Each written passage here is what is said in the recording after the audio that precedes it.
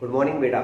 Chemical kinetics की last class में अपन पढ़ेंगे बेटा temperature dependence of rate of reaction इसमें काफ़ी कुछ वर्ड आएँगे। तो मैंने कहा था इस चैप्टर का हीरो मैंने कहा था रेट ऑफ़ रिएक्शन उसकी पढ़ाई थी। और आधे चैप्टर में तो हीरो मान लिया मैंने, और आधे चैप्टर में जो हीरोइन है एंट्री करेगी वो आज। और वो हीरोइन इस चैप्टर की बता देता हूँ इंपॉर्टेंट है वो एक्टिवेशन एनर्जी ये क्या होती है, ये भी आज अपन थोड़ा सा डिस्कस करेंगे। लास्ट क्लास है। तो सबसे पहले temperature dependence of rate of reaction अच्छी तरह जानते हो टेम्परेचर बढ़ता है तो रेट ऑफ़ रिएक्शन बढ़ेगी। क्यों? क्योंकि मॉलिक्यूल्स की एक्टिवेशन एनर्जी वो काइनेटिक एनर्जी बढ़ेगी काइनेटिक एनर्जी बढ़ेगी तो वो कोलाइड करेंगे बीच में। ठीक है ना? और एक दूसरे का टक्कर मारेंगे कोलिजन करेंगे। और कोलिजन करेंगे तो फिर वो क्या होगा? एक दूसरे को टक्कर स्पीड बढ़ेगी रेट ऑफ़ रिएक्शन और टेम्परेचर कॉफिशियंट क्या है?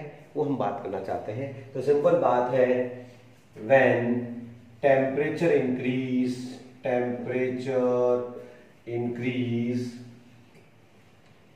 rate of reaction rate of reaction also increase. Increase because because kinetic energy kinetic energy of molecules of molecules increase and they collide between each other they collide collision collision there is collision collision का मतलब टक्कर आपस में टक्कर collision between each other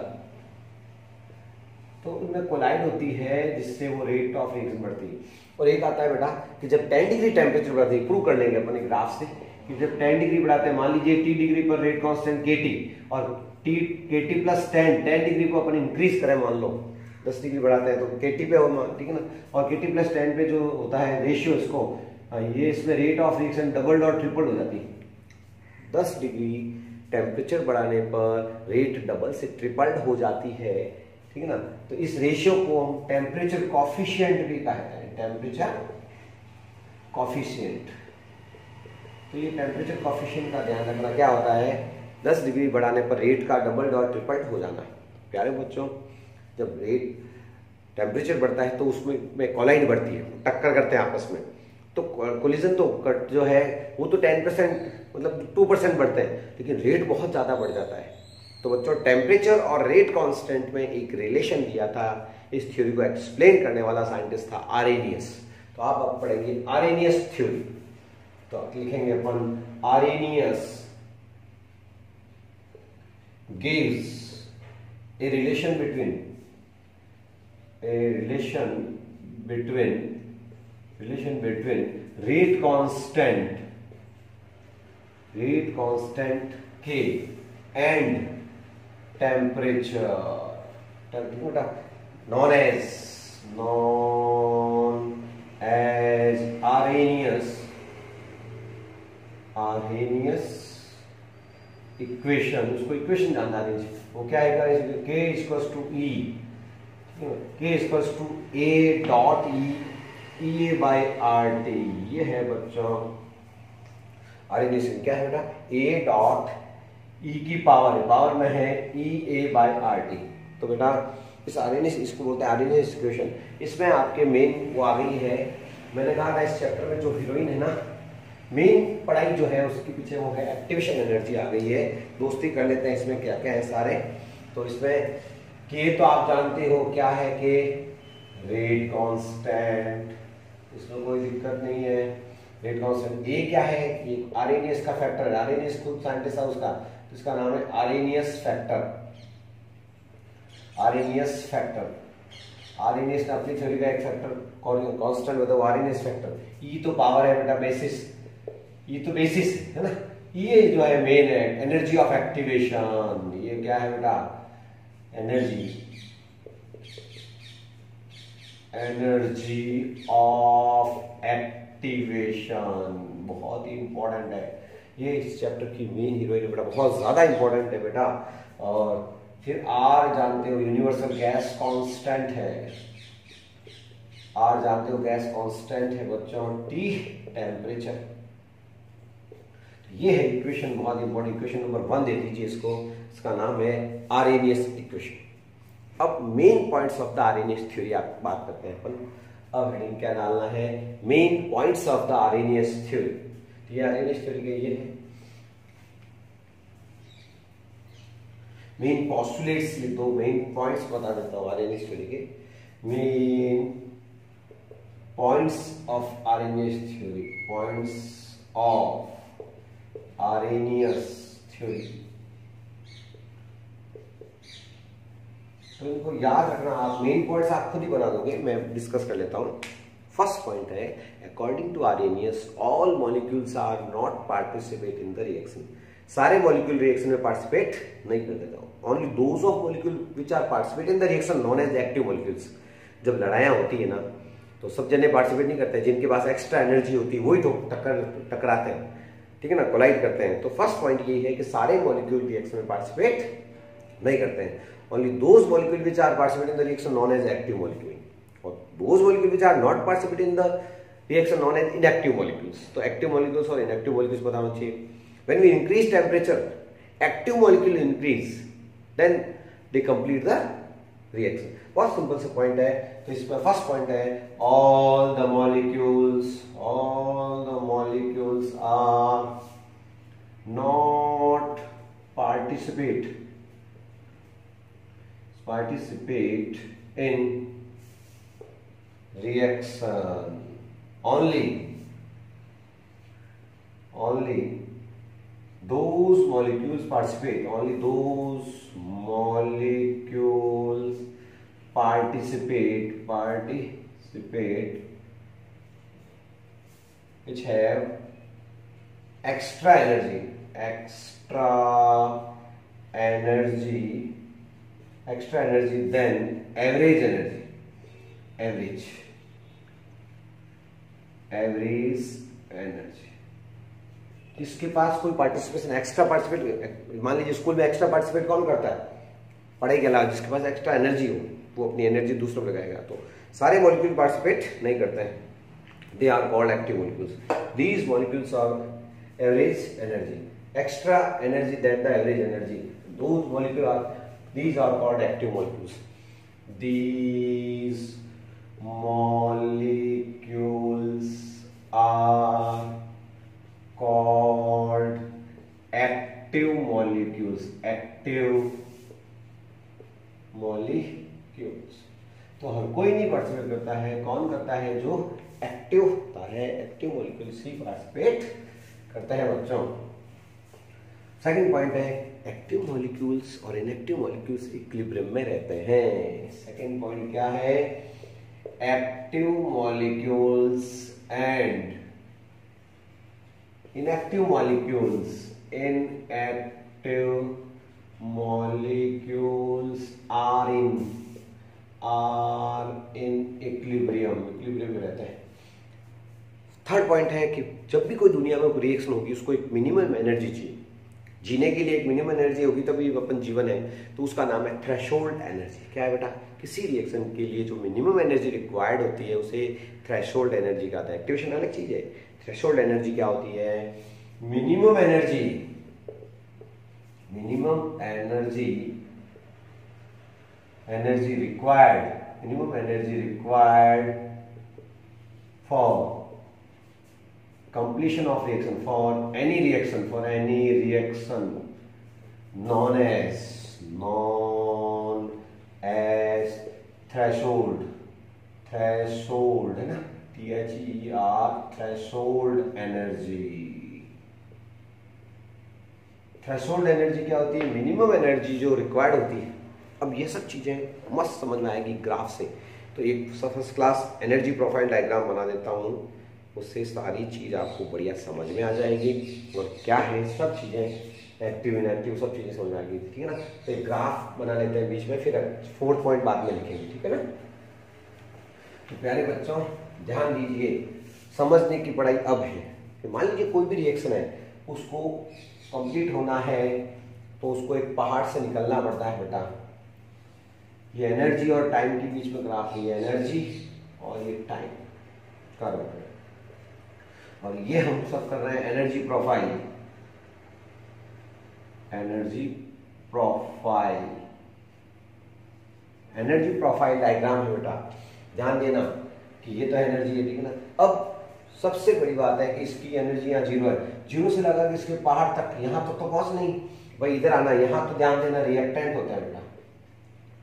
और यहाँ कौन विराजमान होता है? प्रोडक्ट ओके अब इतनी एनर्जी है इनकी। तो ये सबकी एनर्जी है। रिएक्टर यहाँ तक तो पहुँचे हुए एनर्जी नहीं होती तो आदमी ज़िंदा थोड़ी होता है। ज़ीरो एनर्जी वाला तो दुनिया में होता ही नहीं है। तो मॉलिक्यूल है तो इसका मतलब कुछ तो एनर्जी उसकी है। इसको बोलते हैं average energy of molecule average सबकी है। इसको बोलते हैं एवरेज एनर्जी ऑफ़ मॉलिक्यूल ये तो एवरेज एनर्जी और ये मिनिमम चाहिए यहाँ से यहाँ तक। ज़ीरो से लगाकर इस पहाड़ के लास्ट पॉइंट तक आपको एनर्जी की रिक्वायरमेंट है। ये यहाँ से लगाकर यहाँ तक ये वाली एनर्जी इसका नाम है थ्रेशोल्ड थ्रेशोल्ड एनर्जी क्या नाम है? इतनी आपके पास में है, इतनी रिक्वायरमेंट है। ये मिनिमम एनर्जी इतनी चाहिए, इतनी है आपके पास। तो अब ये एक्स्ट्रा एनर्जी यहाँ से यहाँ तक वाली। ये वाली एनर्जी ये पहाड़ जो है ना ये ये पहाड़ जो है एनर्जी बेरियर है it is called activation energy ये आपको लानी पड़ेगी, इतनी तो आपके पास है। और यहाँ पहुँचना है इस पहाड़ के ऊपर तो आपको क्या करना पड़ेगा? कोलाइड करना पड़ेगा। तो extra energy gain by the collision in a reaction known as activation energy तो एक्टिवेशन एनर्जी क्या है बच्चों? ये जो पहाड़ है, वो तीसरी एनर्जी कौन सी है? एक्टिवेशन एनर्जी तो एक्टिवेशन एनर्जी निकालनी हो एक्टिवेशन एनर्जी निकालनी हो तो निकाल सकते हो आप। एक्टिवेशन एनर्जी निकालने क्या करना है बेटा? एक्टिवेशन एनर्जी का सिंबल है ई ए एक्टिवेशन एनर्जी को इसको किससे दिखाएँगे? इस चैप्टर की हीरोइन को बोलता हूँ मैं इसको। इसको इससे दिखाएँगे। एक्टिवेशन एनर्जी क्या हो गई? Threshold energy threshold energy minus threshold में से माइनस कर लो ये वाली। भाई, इसमें से ये माइनस कर दूँगा तो ये आ जाएगी ना। Minus average energy of molecule average energy of molecule तो एक्टिवेशन एनर्जी का मतलब है एक्टिवेशन का एनर्जी बेरियर रुकावट है। यहाँ रिएक्टेंट को प्रोडक्ट बनाना है तो इस पहाड़ से निकलना ना, ये वाला जो पहाड़ है यहाँ से, ये एक्टिवेशन एनर्जी होता है। ठीक है? तो क्या है डेफिनेशन बनाता है एक्टिवेशन एनर्जी की? ये पहले तो आप डायग्राम बना लीजिए, एक मिनट में आराम से। फिर इसको बताता हूँ वीडियो को पॉज करके, वीडियो रोक करके इस डायग्राम को याद करना। तीन एनर्जी याद करनी। कौन कौन सी पहले? थ्रेशोल्ड ये वाली। एवरेज ये वाली। और एक्टिवेशन ये वाली। ठीक है? एक्टिवेशन एनर्जी कब आएगी? थ्रेशोल्ड में से एवरेज को निकाल दोगे तो एक्टिवेशन एनर्जी आ जाएगी। अब मैं इसकी डेफिनेशन लेता हूँ बना लिया? वीडियो वीडियो पॉज कीजिए और बना लीजिए। तो डेफिनेशन क्या निकली? अब अपन को डिफाइन कर लेते हैं इसको। तो क्या करूँगा define extra energy extra energy कह सकते हैं अपन। या एक्सेस एनर्जी का वो तो बेस्ट है। Excess energy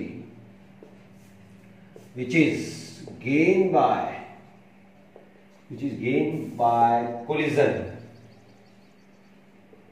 collision which is gain by collision collision का मतलब टक्कर, ठीक है ना? For participation in the reaction for participation participation in reaction reaction and uh, participate in the reaction known as known as activation energy activation energy activation energy जो chapter के अपन main कहते हैं।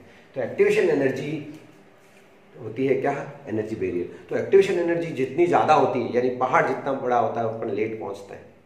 तो ये ध्यान रखना कि एक्टिवेशन एनर्जी ज़्यादा नहीं होनी चाहिए तो रेट ऑफ़ रिएक्शन क्या हो जाएगी? कम हो जाएगी। इसका भी इंपॉर्टेंस पढ़ लेंगे अपन। तो प्यारे बच्चों ये थोड़ा सा दिमाग में होना चाहिए एक्टिवेशन एनर्जी क्या है? अब होता क्या है? टेम्परेचर बढ़ाते हैं तो एक्टिव मॉलिक्यूल्स बढ़ते हैं। तो कोलिजन ज़्यादा करते हैं और एक्टिव मॉलिक्यूल्स जब बढ़ते हैं तो रेट ऑफ़ रिएक्शन भी बढ़ जाता है। तो लास्ट पॉइंट ये चौथा point what is activation energy तो आप बता सकते हैं extra energy gain by the collision known as activation energy and नीचे ठीक है ना? और नेक्स्ट लेने जा रहे हैं अपन व्हेन अब मेन बात इफ़ेक्ट ऑफ़ टेम्परेचर पढ़ रहे हो आप। When temperature increase temperature increase active molecules also increase active molecules अरे भाई, सो रहे थे टेम्परेचर एनर्जी आ गया एनर्जी आ गया तो टक्कर करेंगे आपस में। Active molecules and active molecules also increase also increase and they collide collide between each collision between they collide see they collide between each other each other. And gain gain threshold energy gain thresh T H E R threshold energy and gives gives product तो प्यारे बच्चों ये theory कहती है कि temperature प्रोटी बेटा तो एक वो एनर्जी डायग्राम और एक्टिवेशन एनर्जी की डेफिनेशन इसमें इंपॉर्टेंट निकल के आई है। आर एन इक्वेशन क्या है, ये भी आपको पता चल गया होगा। तो प्यारे बच्चों, ध्यान दीजिए। ये अब अपन देखते हैं एक्टिवेशन एनर्जी की क्या इंपॉर्टेंस है। तो एक्टिवेशन एनर्जी से दो फ़ायदे हैं। एक्टिवेशन एनर्जी की इंपॉर्टेंस लिख लेते हैं, क्या काम आती है। फ़र्स्ट लिख देते हैं importance importance of activation energy importance of activation energy की बात करते हैं तो फ़र्स्ट है रेट ऑफ़ रिएक्शन बता सकते हैं।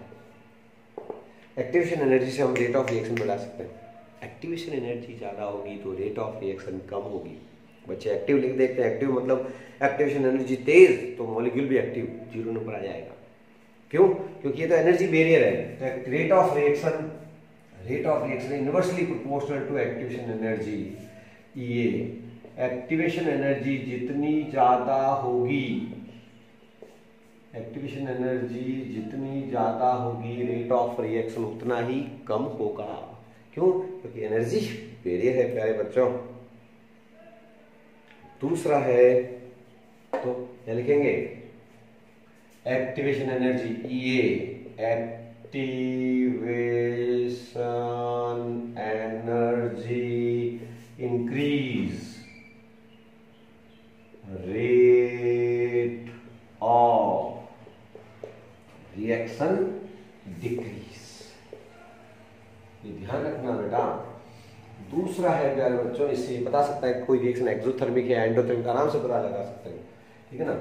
अपन कह सकते हैं thermal information thermal thermal energy के पता लगा सकते थर्मल कह सकते हैं एनर्जी का भी अपन पता लगा सकते हैं। इस चीज़ मतलब इसकी थर्मोकेमिस्ट्री बता सकते हैं थर्मोडाइनमिक्स बता सकते हैं।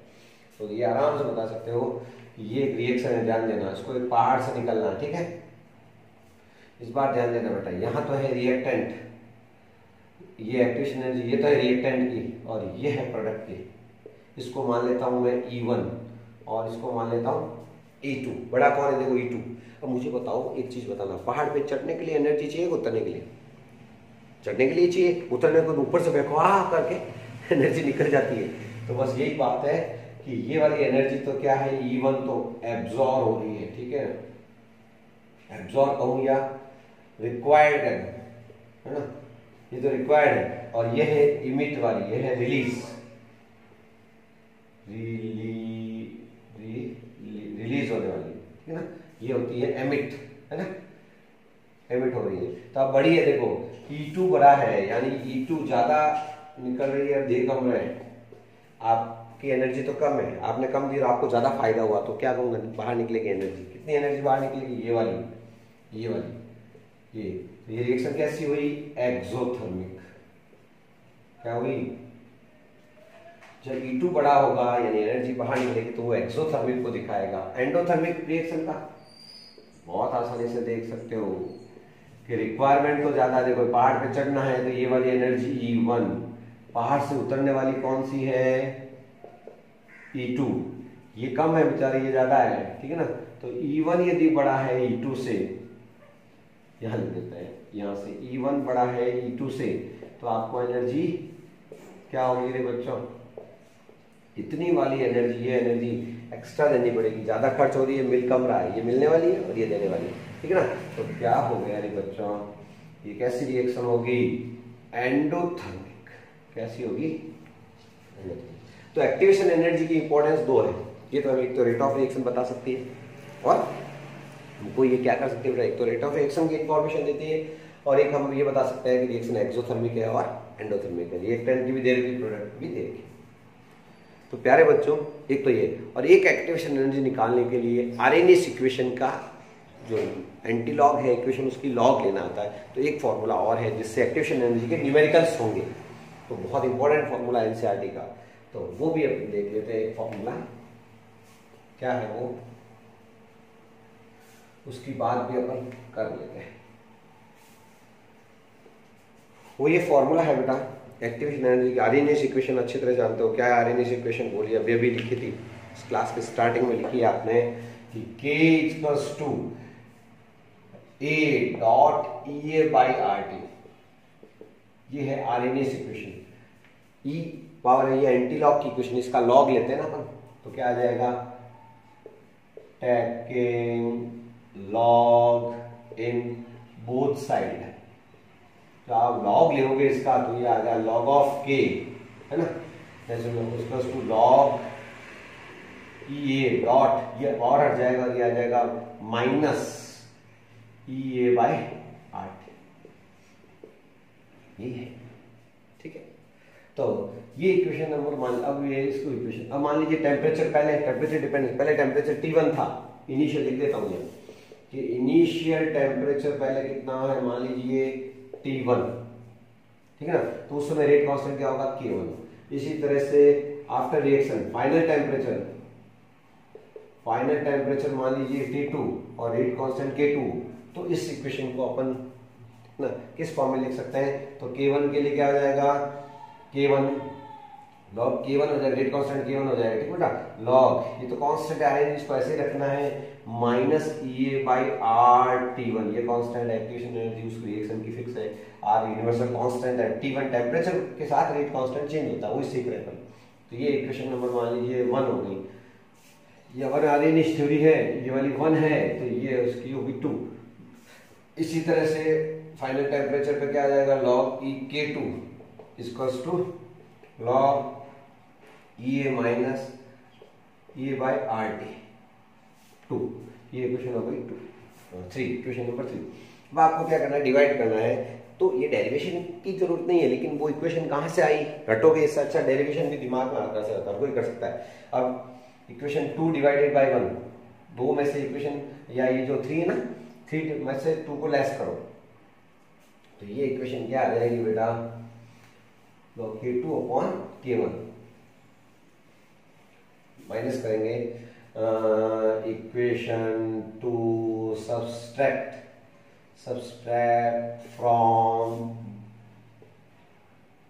three equation three ठीक है ना? तो ये आ जाएगा log e K two minus log e K one ratio निकाल देते हैं इसका ये तो कट जाएगा जब निकालोगे तो ठीक है ना? एक प्लस का एक माइनस का हो जाएगा। अपन एक माइनस का ले लेता है पहले ई ए के टू है ना? Minus K two R T two minus minus plus हो जाएगा ये तो। E A R T one है ना? इसको क्या ले सकते हैं? नेगेटिव की प्रॉपर्टी लॉग डिवाइड में। तो ये आ जाएगा log K two upon K one इसकस टू इसको आगे ले जाओ। पहले तो जो भी आ रहा कॉमन वो ले लेते हैं E A upon R okay उसके बाद में इसको प्लस वाले को आगे ले रहा हूँ, इस माइनस वाले को पीछे ले रहा हूँ। One upon T one minus one upon T two, कोई दिक्कत ही नहीं है। और लॉग नेचुरल लॉग में उसको कन्वर्ट कर देते हैं इसमें। मेन लॉग में ई नेचुरल लॉग को। तो log base ten K two upon K one equals to E A upon two point three zero three R ये देखो एक्टेशन एनर्जी ये बैठी बेटा आपके लिए मेन इक्वेशन है। और इसका एल्सियम क्या आएगा बेटा? टी वन टी टू जाएगा T two minus T one तो ये इसकी final equation final R equation ये है। इस पर भी न्यूमेरिकल होते हैं। इक्वेशन एनर्जी ये दिया हुआ आएगा। टेम्परेचर गिवन होंगे और ये रेशियो दिया हुआ आएगा या ठीक है ना? तो इस पर भी इंपॉर्टेंट है ये। कौन सी इक्वेशन कहलाती है केमिस्ट्री की? आरएनियस इक्वेशन कौन सी? आरएनियस इक्वेशन प्यारे बच्चों, ये था अपने आरएनएस इक्वेशन की बात थी temperature dependence of rate of reaction की बात थी। अब बात करेंगे अपन लास्ट में कि temperature rate rate of reaction double और ट्रिपल क्यों हो जाती है? इसको फिर डिस्कस करते हैं। हाँ बेटा तो टेम्परेचर जो बढ़ता है तो रेट ऑफ़ रिएक्शन बढ़ती है। ये ठीक है। लेकिन it is found that main statement देखना ध्यान देना, क्या लिखा है नॉट पॉइंट है बेटा। It is found that for a chemical reaction which with rise in the temperature 10 degree किसी भी रिएक्शन का टेम्परेचर 10 डिग्री बढ़ाते हैं तो रिएक्शन रेट डबल और ट्रिपल हो जाता है। मैंने ये बात लिखी थी। वो बुक की मेन लाइन है बेटा ये raise to temperature by 10 degree the rate constant nearly doubled ये डबल्ड हो जाती है। रेट डबल्ड क्यों हो जाती है? तो इसको काफ़ी कुछ तो एक्सप्लेन कर पाया था कौन? Arrhenius it is explain by Arrhenius equation Arrhenius equation अपन ने पढ़ ली है, उससे एक्सप्लेन किया था। Final heat of the reaction अब वो फाइनल हीट जो है, वो किस पे depend of reaction depend upon the nature of the reactant and product वो किस नेचर के रिएक्टेंट है, उस पर डिपेंड करता है फाइनल हीट सबमिशन जो आता है ना एक्सोथर्म में कितनी हीट जाएगी। एक्टिवेशन एनर्जी तो पहाड़ वाली हो गई। है ना? स्टार पॉइंट में बेटा all the molecules main statement बहुत बढ़िया है, ठीक है ना? In the reacting species do not have similar kinetic energy सबकी एनर्जी इक्वल नहीं हो सकती। मैं पार्टिकल मान लो पार्टिसिपेट करने वाला हूँ, सारे मॉलिक्यूल ठीक है ना? मेरी एनर्जी अलग होगी, दूसरे की एनर्जी होगी तो दिक्कत आई इसको समझने में, ठीक है ना, कारण? Then difficult to predict the behaviour of the molecule with precision तो सबका एनर्जी अलग अलग है तो हम प्रिडिक्ट कैसे करें, उसको एक्यूरेसी से हम कैसे उसको एक्सप्लेन करें? तब फिर साइंटिस्ट ने लुडविक एंड बोल्समान फिर कौन कौन सा साइंटिस्ट ने एक्सप्लेन किया था? Ludwig Boltzmann and James Clerk Maxwell predict the behaviour of large number of molecules तो लुडविक बोल्समान और जेम्स क्लॉक ने लार्ज नंबर ऑफ़ मॉलिक्यूल्स के शानदार तरीके से इसको एक्सप्लेन किया है। उन्होंने क्या कहा कि सबकी एक्टिवेशन एनर्जी इक्वल नहीं होती है, लेकिन kinetic energy of maximum molecule known as most probable kinetic energy. तो प्यारे बच्चों, ध्यान देना, ग्राफ से समझना और क्यों रिएक्शन रेट डबल हो जाती है? ग्राफिकल प्रेजेंटेशन है शानदार। क्या है ग्राफ क्या कह रहा है? ध्यान दीजिए। तो समझ आ जाएगा कि सबकी एनर्जी इक्वल नहीं है बेटा। अपन को प्लॉट खींचता किस किस के बीच में? ये तो है fraction of active molecule fraction of active molecule यानी एक्टिव मॉलिक्यूल का फ्रैक्शन है, मान लीजिए टोटल मॉलिक्यूल तो एंटी और उसमें से जिसने एक्टिवेशन एनर्जी गेन कर ली वो है एन एन ई तो एन अपॉन एन टी ठीक है बेटा? एन ई क्या है एक्टिवेशन एनर्जी ये टोटल मॉलिक्यूल्स और वो मॉलिक्यूल जिसने एक्टिवेशन एनर्जी गेन कर ली, और ये है काइनेटिक एनर्जी ये कहते हैं साइंटिस्ट कहते हैं भी कि सबकी काइनेटिक एनर्जी इक्वल नहीं होती होती तो ये ग्राफ आता है ऐसे। लेकिन फिर सबकी इक्वल नहीं है तो अपन कहेंगे कि मैक्सिमम मॉलिक्यूल की एनर्जी जो होती है, उसका नाम है मोस्ट प्रोबेबल काइनेटिक एनर्जी और वो ये सबका इक्वल नहीं है तो अपन ने कहा, भाई, सबकी जो है, ये इसका पीक ये है सबकी, ठीक है ना? एवरेज एनर्जी ले ली सबकी अपन ने एक तरह से, और इसका नाम रखा most probable most probable kinetic energy और इसमें जो ये है मैक्सिमम मॉलिक्यूल्स जो है, उसकी एनर्जी का नाम है most probable kinetic energy okay अब होगा क्या कि जब आप 10 डिग्री टेम्परेचर बढ़ाते हो तो यहाँ अभी देखना, जब टी डिग्री टेम्परेचर है, ये टेम्परेचर है टी डिग्री सेंटीग्रेड इस पर एक्टिव मॉलिक्यूल जिसने रिएक्शन में पार्टिसिपेट कर लिया है, वो ये एरिया है, वो आपके 10 डिग्री पर ये है एक्टिव मॉलिक्यूल जो रिएक्शन में पार्टिसिपेट करने वाले मॉलिक्यूल का एरिया है ये. ठीक है बेटा? ये टेन डिग्री अब 10 डिग्री बढ़ाएँगे तो क्या होगा? वो देखिए।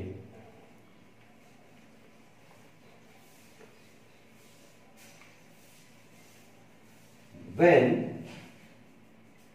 temperature raise by temperature raise by 10 degree ठीक है ना? Area of area of area area of active molecule active molecules is just doubled or tripled just doubled doubled or triple. Due to this due to this due to this rate of reaction also rate of reaction also doubled. Doubled हो जाएगी, ठीक बेटा? कैसे? आइए देखते हैं कि ये है बच्चों, ग्राफ किस किस बीच में? ये फ्रैक्शन ऑफ़ एक्टिव मॉलिक्यूल्स ये टोटल मॉलिक्यूल्स और ये है एक्टिव मॉलिक्यूल्स ठीक है ना? इसलिए इसका नाम अपन यहाँ है fraction of active molecules okay? और यहाँ है काइनेटिक एनर्जी अब आपने टेम्परेचर अब सबसे पहले तो टी डिग्री पर अपन कह सकते हैं सबकी एनर्जी इक्वल नहीं है तो अपन कहेंगे ये जो है यहाँ पर आपके एक्टिव मॉलिक्यूल्स है बेटा ये यहाँ लिखेंगे अपन most probable kinetic energy at T degree यहाँ पर क्या आएगा मोस्ट प्रोबेबल काइनेटिक एनर्जी कितने पर? टी डिग्री पर और उसमें एक्टिव मॉलिक्यूल्स कितने हैं? इस एरिया में ये क्या है? आ, एरिया यहाँ ले लेते हैं बेटा। Area of active molecule molecules कितने डिग्री पर? टी डिग्री पर। ये एरिया देख लेना बेटा। अब अपन क्या करते हैं साहब?